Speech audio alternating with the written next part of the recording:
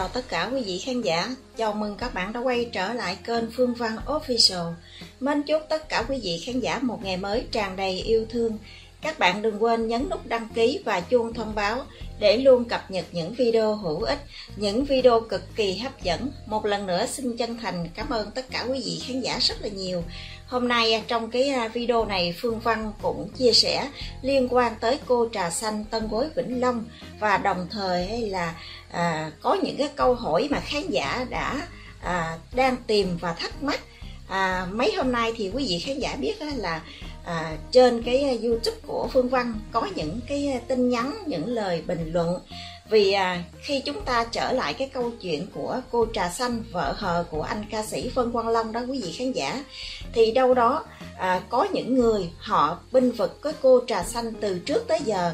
Họ có những cái à, lời lẽ cũng như là có những cái mà không hài lòng tại vì bây giờ họ đang binh vực về cái cô trà xanh họ đi cho tới đường cùng. Tuy nhiên bên cạnh đó thì cũng có một số người đã ngộ nhận ra câu chuyện và hiểu cô trà xanh như thế nào và họ cũng à, suy nghĩ cái hành động của mình trước đây đã từng chửi mắng cha mẹ của anh Long.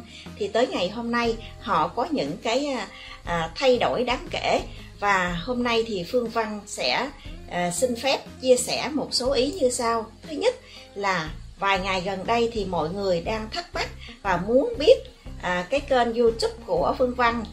Bên cạnh đó, muốn biết luôn là cái ờ, Facebook của Phương Văn như thế nào. Và có một vị khán giả đang hỏi mọi người ơi cho mình hỏi, có biết Facebook của kênh Phương Văn Official không? Và đồng thời mình cũng nhận được email của một vị khán giả à, không những một mà vài vài vị khán giả đã viết mail cho mình hỏi về Facebook cá nhân. Và đồng thời là có những cái à, nhận định như thế này nha quý vị khán giả. Tại vì từ trước tới giờ phương văn làm không có ai hỏi về facebook hết. Nhưng mà hôm nay thì à, có những cái thông tin à, hỏi về facebook cá nhân của phương văn. Thì phương văn cũng không ngần ngại để chia sẻ cho quý vị khán giả và cái à, ý thứ hai à, chia sẻ về một à, vị khán giả à, đã nói về việc mà lo làm á, à, từ thiện không lo mà bây giờ là covid à, tấn công khắp nơi như vậy mai mốt bị thì hối hận sẽ không kịp. Chuyện ai nấy lo nhà mình lo chưa xong mà lo chuyện của người ta. Lấy tiền youtube lương thiện chút xíu đi. Thì cái câu này phương văn sẽ phân tích sau. Một vị khán giả này nói ra thì mình cũng biết là hơi hướng vào à, những người à, nào rồi ha quý vị khán giả? Nhưng mà để mình phân tích ra cái câu nói của một vị khán giả này làm ảnh hưởng rất là nhiều tới anh em youtube và kể cả những người làm chính thống hay là những người làm không chính thống và kể cả báo chí những kênh youtube lớn như hiện nay đây ha quý vị khán giả. Chứ không đơn giản như cái câu nói của bạn này nói cho sướng cái miệng nói à, cho hả hơi mình nhưng mà không nghĩ được cái câu nói sâu xa. Và cái ý thứ ba thì gần đây mình cũng có chia sẻ nói về những người mà trước đây à, là chửi bới thầy cô đó hôm nay thì một số youtuber lại quay đầu.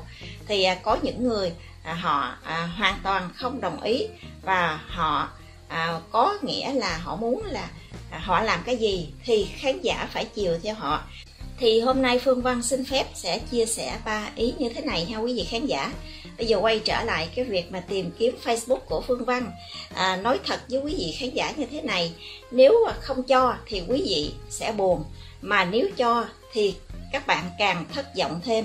Thì ở đây mình xin phép à, cô chú bác anh chị có những người à, em đồng trang lứa có những người chị có những cô chú bác những người lớn tuổi đã từng theo cái kênh phương văn official. Thì trước đây không ai hỏi về facebook cả. Thì hôm nay mình à, xin phép mình trả lời quý vị khán giả chung. Tại vì có nhiều người à, hỏi à, trong cái thời điểm này cho nên mình không có trả lời từng người được. Cho nên là trong cái video này mình cũng chia sẻ thật lòng luôn.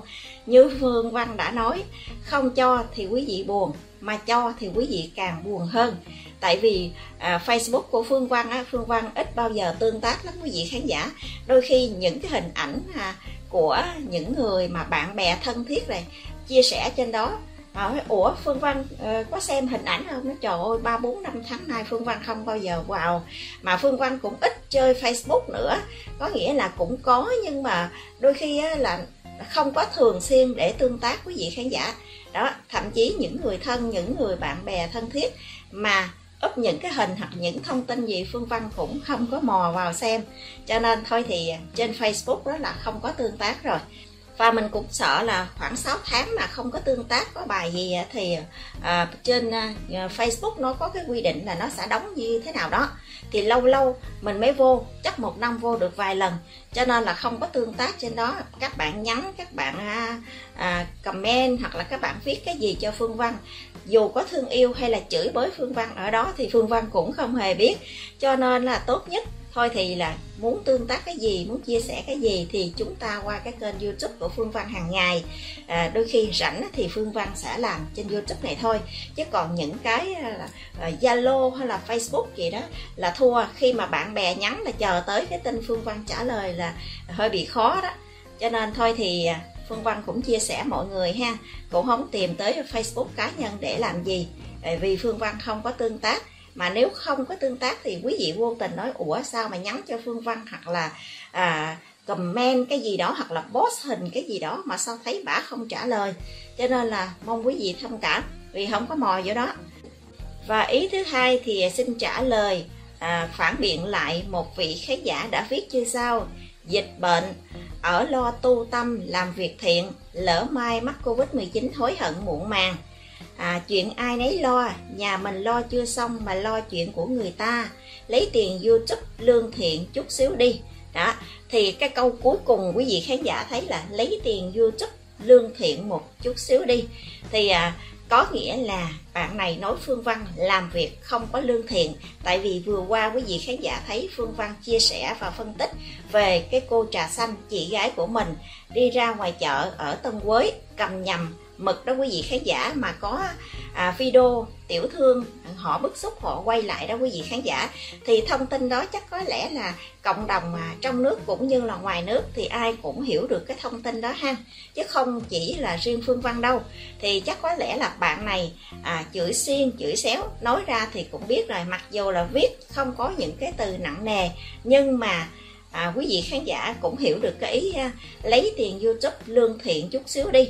Như vậy thì tất cả những người hiện nay họ làm những cái gì mà trái ý mình kể cả những cái à, kênh à, à, báo online chẳng hạn như báo thanh niên đi họ cũng những à, không những đưa tin à, cập nhật thông tin mới à, có thông tin về thời sự thông tin về tai nạn thông tin về à, làm từ thiện thông tin về những người đi cướp giật à, thông tin về những người trộm cắp vân vân. Nói chung là cập nhật thông tin tin tức hàng ngày họ cũng chia sẻ như vậy. Thì à, chắc có lẽ là họ cũng bị vướng vào cái câu nói của cái à, bạn này là làm youtube thì làm thiện chút xíu đi đừng có đưa những cái tin mà à, như vậy.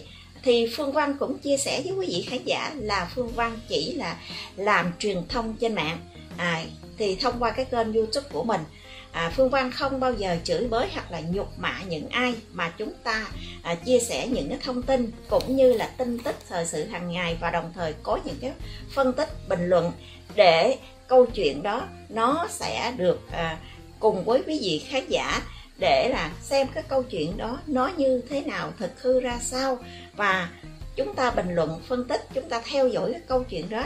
À, có những người bên chính bên tà chứ quý vị khán giả.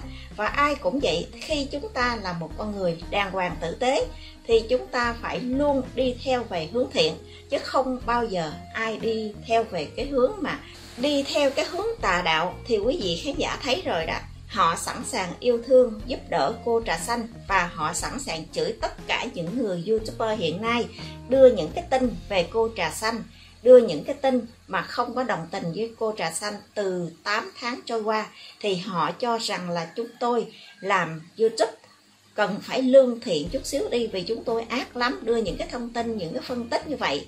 Thì tất cả anh em làm youtube hiện nay đang bị à, à, trói buộc trong cái câu nói của bạn này bây giờ dịch bệnh nhiều lắm đi lo làm từ thiện đi lỡ mai mai sau mắc covid 19 thì hối hận muộn màng. Thật sự cái câu nói mà lỡ mai mắc à, covid 19 hối hận muộn màng. Những ai hiện nay à, ở Việt Nam cũng như là trên thế giới à, cái việc mắc covid 19 đó là cái việc mà à, à, cái dịch bệnh đang bùng phát mà cả thế giới đều đau đầu. Đó. Chứ bạn nói bây giờ là lỡ mai mắc bệnh covid 19 hối hận muộn màng. Ở đây đâu có việc liên quan làm cái gì mà hối hận. Ví dụ như bạn nói câu này bạn phải hiểu nè. Chẳng hạn như những người à, cướp giật những người trộm cắp những người vi phạm pháp luật những người đi giật chồng người ta những người lừa gạt cộng đồng mạng trong nước cũng như là ngoài nước. Đó hỗn láo xáo xược với cha mẹ chửi cha mắng mẹ. Thì những người đó mới gọi là hối hận muộn màng tại vì họ làm những cái việc sai trái mà họ không có à, dừng lại được. Cho nên một lúc nào đó à, thì họ lại hối hận các câu chuyện của họ làm hoặc là hành động của họ làm. Giống như cái cô trà xanh như vậy nè chẳng hạn như bây giờ cộng đồng mạng nói bây giờ là sau này á, cô trà xanh này hối hận đã muộn màng. Bạn có hiểu câu nói này hay không? Ha chứ không phải mà lỡ mai mắc bệnh covid 19 rồi là muộn màng.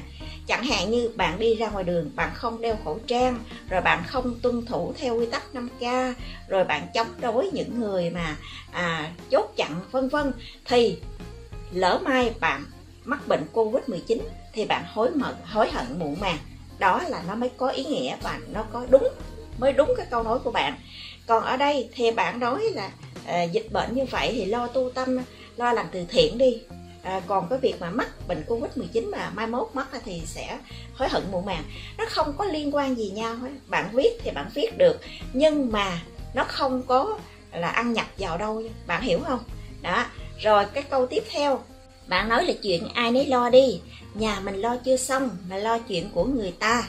Ha, thì cái câu nói này cũng biết bạn là phe phái của cô trà xanh rồi. Bạn có cái sự đồng cảm với cô này. Chứ thực sự ra bây giờ là đây là cái chuyện cộng đồng rồi, chứ không phải là cái chuyện riêng của người hàng xóm mà nhà mình, nhà bạn, nhà cô kia. Đó, nó không phải là chuyện nhỏ nữa. Mà cái chuyện này nó kéo dài là 8 tháng đã trôi qua.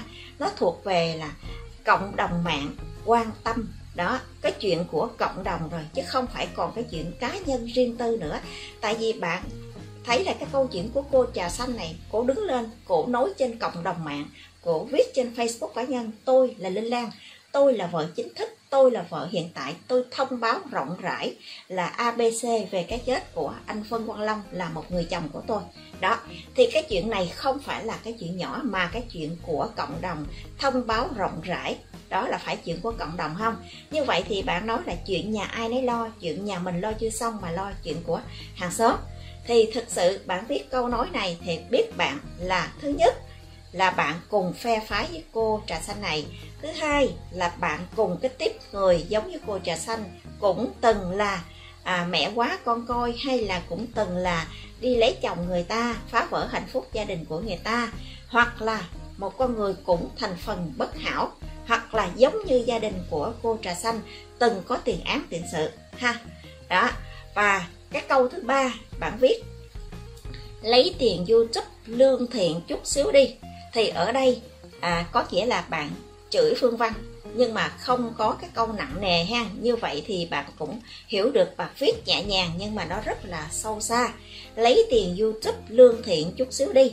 Ở đây à, phương văn nói nè bây giờ bạn nói phương văn ác chỗ nào? Chẳng lẽ bây giờ phương văn đưa những cái thông tin về cô chị gái của trà xanh của mình đã đi cầm nhầm mực? Đó à, mua một ký mà nó lấy nhiều ký. Và trước đây tiểu thương cũng vô cùng bức xúc về cái cô chị gái. Đó đi à, chợ thì thịt cá gì đó mua một mà cầm hai. Như vậy thì bây giờ có chú công an áo xanh xuống có tiểu thương quay lại. Như vậy bạn chửi luôn những người đó tại sao chuyện nhà của người ta mà tiểu thương lại cầm điện thoại quay lại à, cái đoạn video đó. Và thứ hai sao bạn không chửi luôn là những chú công an cái chuyện à, đi ăn cắp mực cái chuyện mà mua một lấy à, mười. Đó thì cái chuyện của cái cô đó công an không có quyền can thiệp. Đó ý bạn nói là cũng giống như vậy. Thì khi phương văn làm truyền thông cũng như là các bạn mình làm youtube với nhau cái việc gì à, à mà mình cảm thấy là à, nó công bằng trong xã hội. Còn những người mà xấu xa đó thì cần phải lên án để cho họ có cái nhận thức được họ sửa sai. Quý vị khán giả thấy không? Chứ bây giờ ví dụ họ đi ăn cắp mực họ làm sai như vậy thì các bạn nói trời ơi mới mốt mày lên mày lấy nữa đi mày lấy nhiều lần như vậy nữa đi. Bạn có làm được không? Thì bây giờ ví dụ như xảy ra một cái câu chuyện vi phạm pháp luật nào đó báo chí cũng đưa tin. Đó chẳng lẽ báo chí làm như vậy là báo chí không có lương thiện? Và chúng tôi đưa những thông tin những bình luận như vậy thì chẳng lẽ chúng tôi là làm không lương thiện? Và cái câu nói này ảnh hưởng rất là nhiều anh em youtube hiện nay. Họ họ đang đi chính nghĩa mà bạn cũng cho rằng là à, làm youtube thì phải làm thiện một chút đi. Thiện ở đây đâu có ai ác khi nào ác là chửi bới người già chửi bới những người lớn tuổi. Mình đi sai lệch câu chuyện thì những người đó mới là ác đức không lương thiện. Đó của người ta mà tối ngày là đồi của mình. Mình ví dụ cụ thể luôn cho bạn biết hen.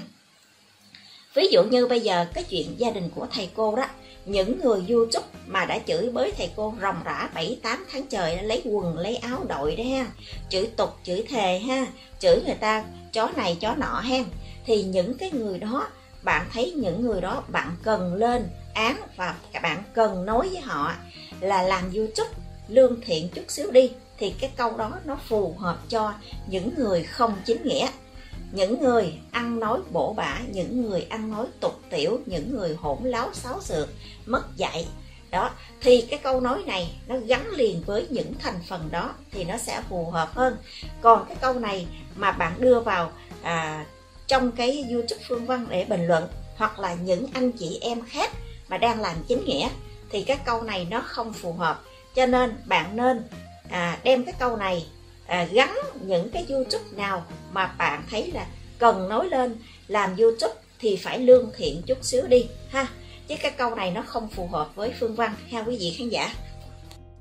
Mà mọi người biết rồi đó à, à trong cái thời điểm hiện nay thì sau hậu 8 tháng câu chuyện của cái cô à, trà xanh và gia đình của họ lại được cộng đồng mạng quan tâm xảy ra cái vụ việc là chị gái của mình đi qua à, chợ Tân Quế để là lấy mực.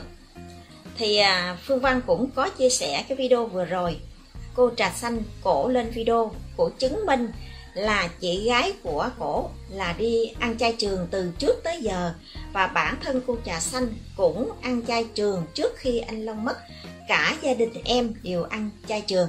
Thì quý vị khán giả thấy là họ rất là thông minh mà dù cho là không biết đi nữa thì thấy thực tế cái video của cô trà xanh quay khán giả nói trời ơi nó ăn chay trường cả nhà nó ăn chay trường mà toàn là tiền án tiền sự là vi phạm pháp luật hết. Đó cái thứ hai nữa ăn chay trường mà à, làm video ăn à, tôm càng xanh ăn à, là cua ăn tôm. Đó thì ăn chay trường. Chắc có lẽ là theo bạn trà xanh nói là ăn chay trường là không có ăn à, à, không có chấm nước mắm đó các bạn. Hoặc là không ăn cá mà ăn là mực nè tôm nè cua nè thì chắc có lẽ là ăn được. Thì theo suy nghĩ của cái cô trà xanh là vậy. Cho nên cổ lên video cổ nói là cả nhà cổ ăn chay trường và họ à, sống có đức mặc sức mà ăn. Thì những người đang binh vực cái cô trà xanh này thì chắc có lẽ cũng thuộc cái tiếp người giống như cô này ha quý vị khán giả à, chứ không có ai mà đi ăn chay trường mà đi à, lấy mực về chẳng lẽ đi về nấu nướng rồi quay video lên rồi xong có những cái đồ mặn đó đổ cho chó mèo ăn. Có thấy là là có lý hay là bất hợp lý quý vị khán giả? Thì thôi à, trong cái thời gian vừa qua thì quý vị khán giả thấy là phương văn theo đuổi cái câu chuyện này thấy bất bình trong xã hội. Phương văn đã cùng với một số anh em youtuber đã nói lên cái à, tiếng nói mà hầu như đâu đó chúng ta có chung một cái à, lối đi đó là à, chính nghĩa nói lên tiếng nói của mình để là ủng hộ tinh thần thầy cô ha. À, chỉ ra cái lối đường lối để cho cô trà xanh này biết à, sai trái. À, không thôi là mai mốt là hối hận à, đã quá muộn màng. Đó thì chúng tôi à, phương văn cũng như quý vị khán giả cũng bị chửi te tua quý vị khán giả từng làm youtube về câu chuyện của cô trà xanh rồi. Đó thì các bạn biết rồi các bạn bị chửi quá trời và phương văn cũng không khác gì quý vị khán giả ha. Có những người mà khán giả đã từng làm những cái kênh khác cái kênh của mình á, thì mình khôn lắm mình không chửi mình sợ youtube nó đập, nó đập. Vì sợ ảnh hưởng cái chính sách của youtube thì các bạn cũng biết rồi. Chửi tục chửi thề chửi mẹ bạ. Không chửi đi qua cái kênh của người khác cái kênh mà youtuber súng răng đó quý vị khán giả. Đó qua đó làm một người khán giả. Trời ơi vô chửi phương văn. Các bạn thấy kinh khủng chửi một tiếng 15 phút. Và đồng thời những cái à, những cái video nhỏ nhỏ khác đó à, thì chửi người khác có trong đó chửi phương văn cũng có. Và một cái video riêng chửi phương văn một tiếng 15 phút. Đó quý vị khán giả thấy là chửi quá trời chửi. Nhưng mà phương văn rất là bình tĩnh. Tại vì khi mà vấn thân vào câu chuyện nào đó thì người người ta đâu có hài lòng được hết tất cả cho nên cái việc mà họ hiểu câu chuyện thì là chuyện khác. Còn họ không hiểu họ đi mù quáng họ binh vực những con người như vậy thì thực sự là đầu óc của họ nó à, có vấn đề về cái suy nghĩ về nhận thức. Cho nên họ chửi mình thì mình là phải chịu thôi tại vì miệng người ta chửi mình không có ngăn cản được. Nhưng mà khi lương tâm và cộng đồng mạng nhìn nhận lại con người của mình mình chửi có đúng hay không thế đã? Mình có đi đúng đường hay không? Mình chửi người ta như vậy, nó có đúng hay không ha? Chẳng hạn như ví dụ các bạn chửi phương văn, đó, thì bây giờ các bạn chửi cho sướng cái miệng, tại vì không có hài lòng các bạn. Đó, bạn chửi thầy cô, đó, chửi ngày, chửi đêm, chửi tục tiểu như vậy thì bạn nói là thầy cô à ác đức thầy cô không làm hài lòng các bạn, không nhận cô trà xanh là con dâu trái với cái ý của bạn. Đó, thì bạn lại chửi thầy cô. Đó, nhưng mà mình làm con người, ha, mình phải có cái đầu để mình suy nghĩ. Mình không phải là con gà, con vịt hay là con chó, con mèo, mà mình chỉ làm theo bản năng.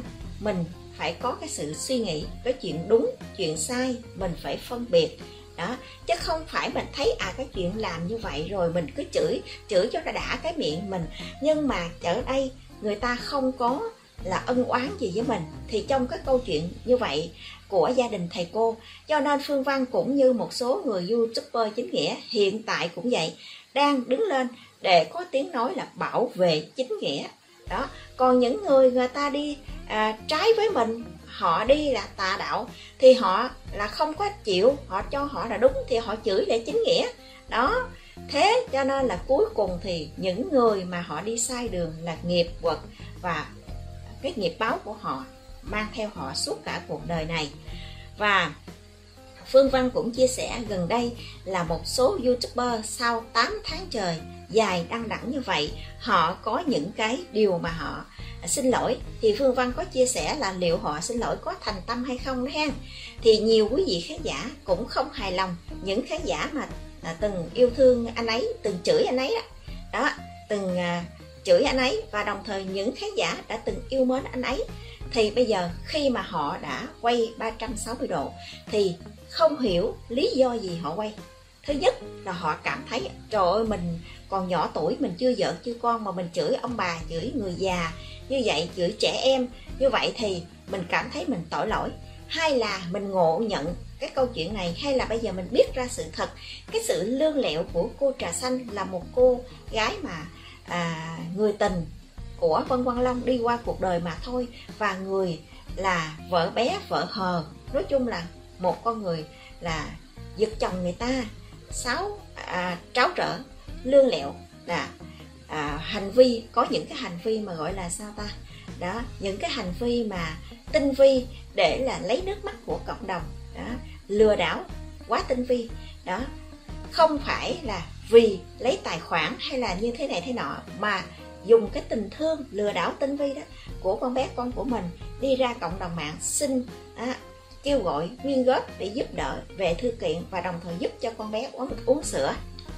Thì quý vị khán giả thấy đó họ lừa đảo rất là tinh vi mà trong đó họ là một con người ăn trơn mặt trắng là không có cùi đuôi sức mẻ vẫn đi làm được. Chỉ có trục lợi cá nhân của mình mà thôi. Thì quý vị khán giả thấy là những người youtuber chắc có lẽ là nhận được nhận định được cái điều đó hay là vì động lực động cơ nào. Mà bây giờ phương văn à, xin nói với à, các bạn như thế này nè những người youtuber hiện tại là đã quay đầu 360 độ. Bây giờ chế nói cho em nghe như thế này. Cái việc em quay đầu, cái việc em nhận ra những cái điều mà 8 tháng đã trôi qua, em đã làm sai. Đó. Thì phương văn, chế cũng mừng cho em.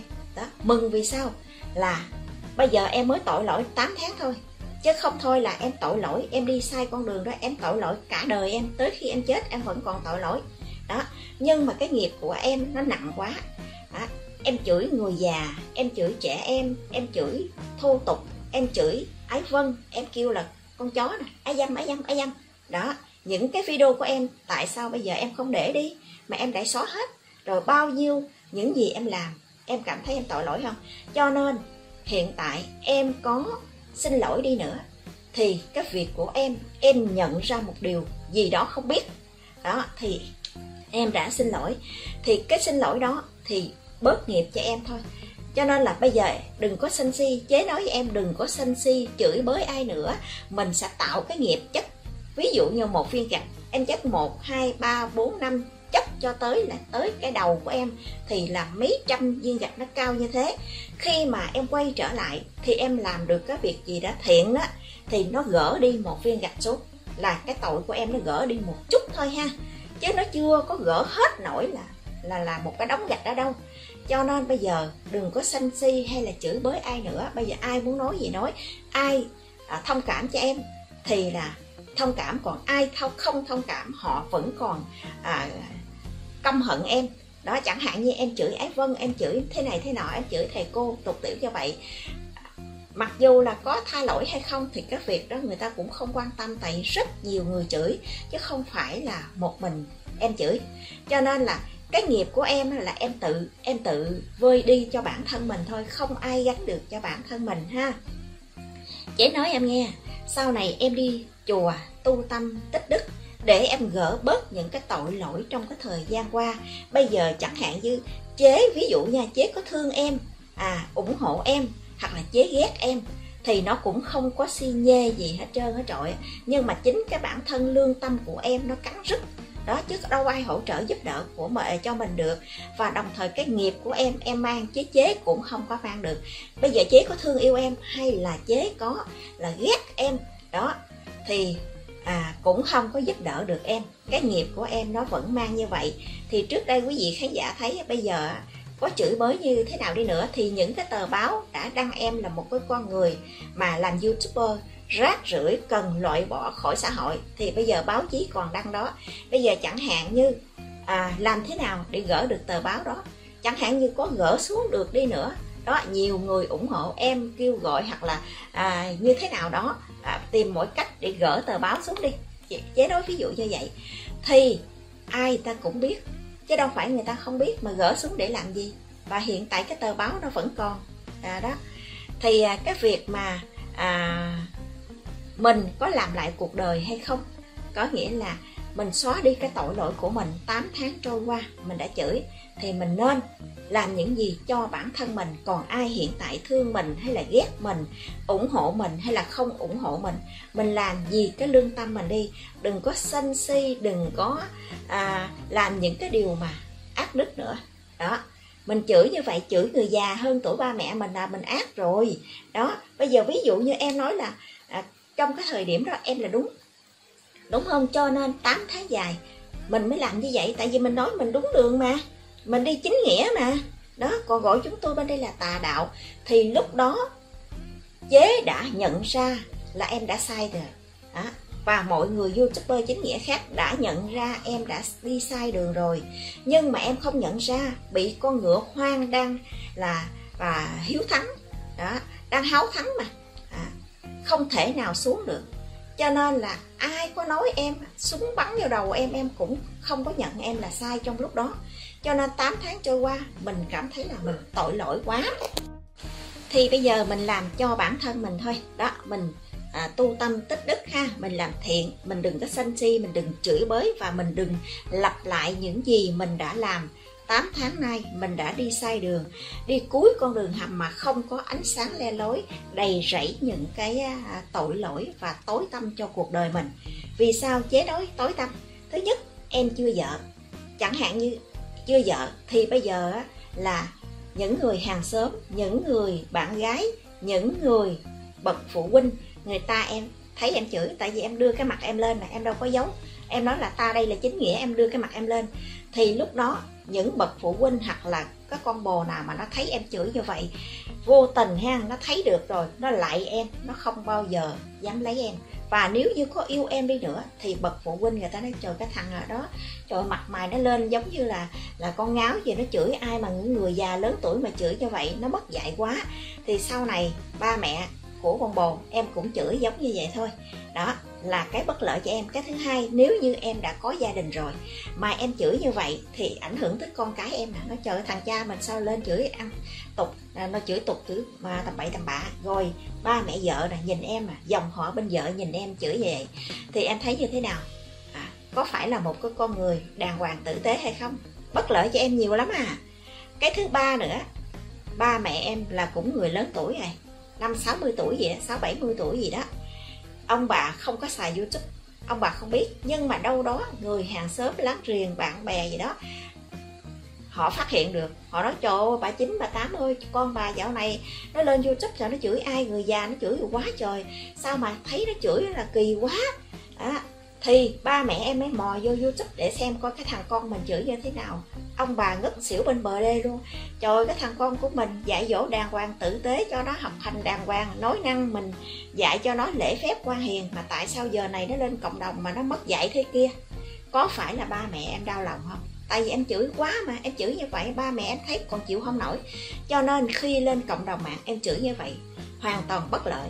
Mà trước đây chế cũng như là các youtuber khác cũng nói, nhưng mà em là con ngựa háo thắng, em không bao giờ em nhận.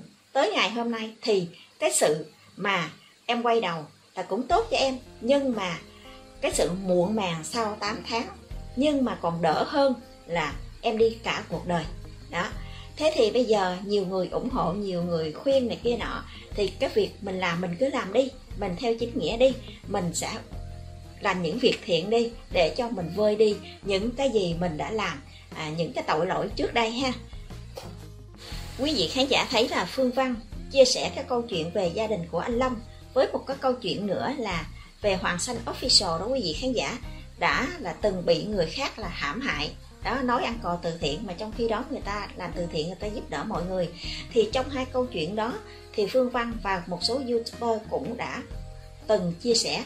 Thì đâu đó cũng bị những người đối lập họ chửi quá trời chửi. Nhưng mà phương văn thật lòng là không có chửi lại các bạn. Từ đầu tới cuối đi theo suốt câu chuyện của gia đình anh long để à, góp lên tiếng nói hỗ trợ tinh thần cho ba mẹ anh long cũng như là ái vân bất cứ ai chửi phương văn cái gì phương văn không hề chửi lại giống như các bạn đã từng chửi phương văn ha. À, mình chỉ lên chia sẻ mình phân tích đâu đúng đâu sai và nói cho bạn hiểu cái câu chuyện thôi.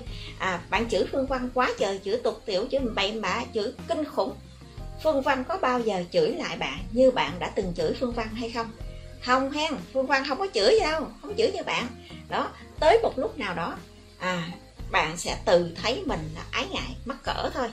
Và mình xin chia sẻ với quý vị khán giả như thế này, có một khán giả rất là đặc biệt trong cái kênh phương văn. Ảnh tự lên, ảnh nói với phương văn á, là, anh xin lỗi em, tại từ trước tới giờ anh đã có những cái điều sai, mong em tha thứ. Mà thực sự ra à mình không có biết à, ảnh là ai luôn? Tại vì khán giả trong mình thì khi khi là có những cái à, comment á là cái bình luận đó thì mình like hoặc là không like hoặc là youtube chửi bậy bạ nó tự giữ lại. Cho nên là mình cũng không có nhớ khán giả đó là ai nữa.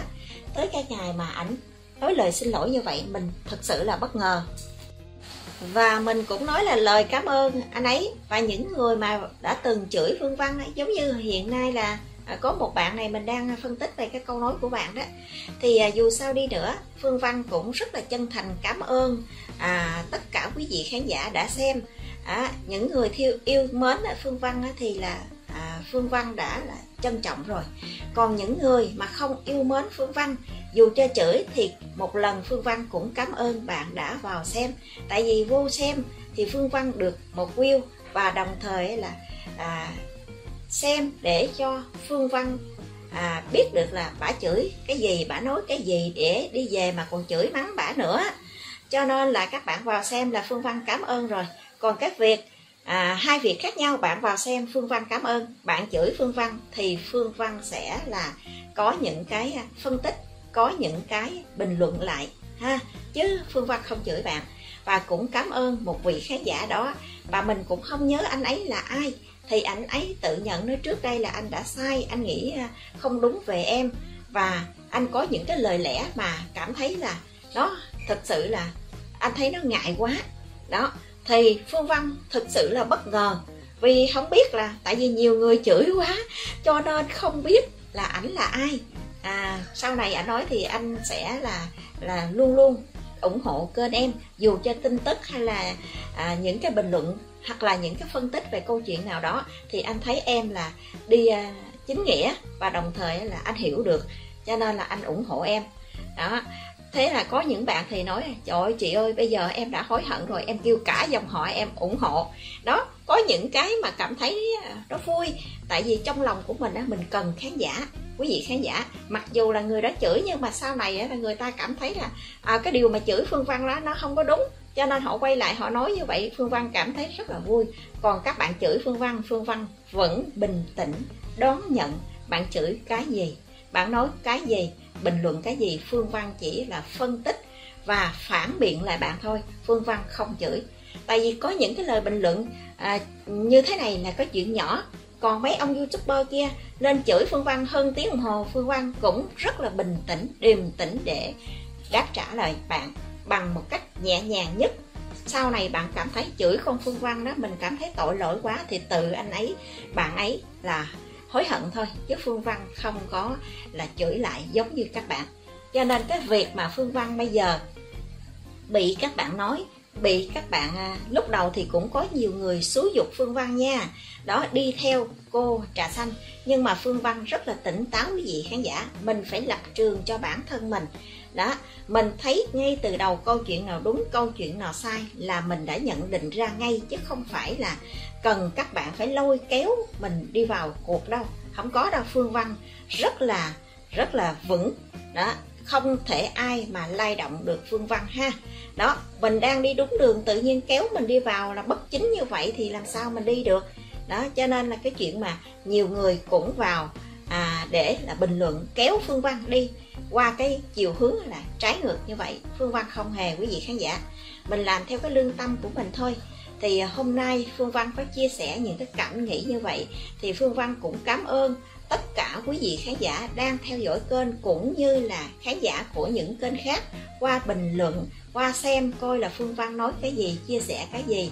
Phương văn một lần nữa tri ân tất cả quý vị khán giả à, đã từng xem và đã từng mà có những cái phản biện lại ha thì à, hôm nay thì phương văn cũng xin chia sẻ quý quý vị khán giả không phải phương văn theo một cái câu chuyện của gia đình anh long mà kênh phương văn để là chia sẻ những cái tin tức những cái cập nhật về những tin tức hàng ngày chẳng hạn như là tin tức về thời sự tin tức đó đây vân vân để cho quý vị khán giả rảnh khi nào xem khi nấy. Ví dụ như phương văn cũng rất là trân trọng có những cái video ra thì chỉ rằng chưa đầy 100 à, lượt view để xem có nghĩa là chưa đầy 100 người thì Phương Văn cũng rất là trân trọng vì những cái tin tức đó quý vị khán giả có thể là xem trên TV, xem trên à, báo chí, rồi xem những kênh YouTube khác hoặc là vân vân và vân vân thì người ta xem rồi, người ta không có xem lại. Nhưng ở đây Phương Văn rất là vui.